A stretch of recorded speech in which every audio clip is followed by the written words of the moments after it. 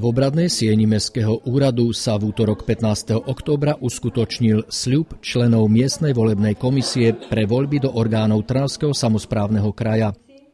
Viedla ho Elena Honzová, poverená organizačným zabezpečením volieb v Holíči. Členovia miestnej volebnej komisie zložili slávnostný sľub do rúk primátora mesta Zdenka Čambala, ktorý v súlade so zákonom zvolal ich prvé rokovanie – Predpísaný sľub predniesla Anna Pokrievková. Sľubujem na svoju čest, že budem svedomite a nestranne vykonávať svoju funkciu a budem sa pritom riadiť Ústavou Slovenskej republiky a zákonmi. Zloženie sľubu prítomní členovia volebnej komisie následne potvrdili svojim podpisom.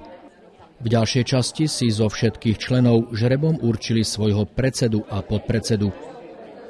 Pripomeňme, že voľby do orgánov samozprávnych krajov sa budú konať v sobotu 9. novembra v čase od 7. do 22. hodiny.